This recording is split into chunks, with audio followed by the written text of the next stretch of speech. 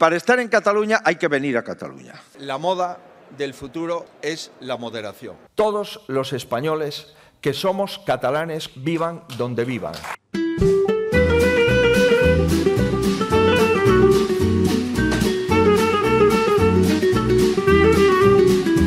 Nosotros estamos aquí porque creemos en Cataluña.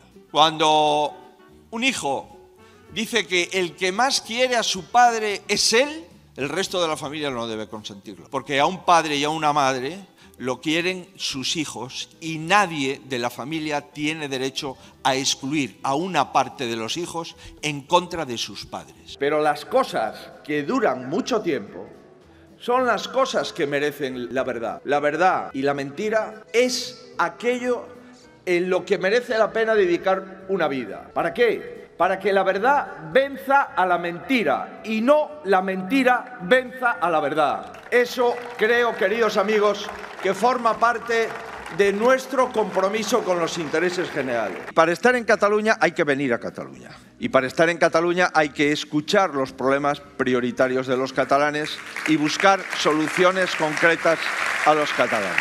Los que más aportan tienen que tener más ayudas. Y los que menos aportamos, pues no tenemos derecho a tener un IVA reducido para la compra de un coche cuando viajamos tres. Aún queda todavía una plaza más y incluso dos.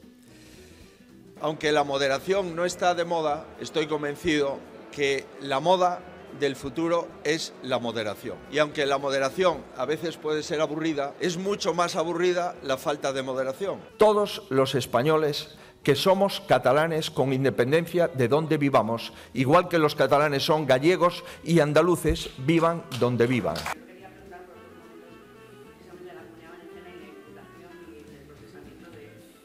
He contestado a todas las preguntas que me han hecho los periodistas. No tenga usted ningún problema el Partido Popular de Valencia le puede contestar a usted de forma sobrada al respecto, pero por respeto, estoy en un clúster de la cerámica y del esmalte, creo que eh, me debo a intentar mantener el respeto a la cerámica y el esmalte de Castellón y de Valencia. Lo primero que tiene que hacer alguien que se dedica a la educación es ser bien educado, porque imagínense ustedes tener a alguien que se dedica a la educación y ser un mal educado. La mentira o la posverdad nos esclaviza.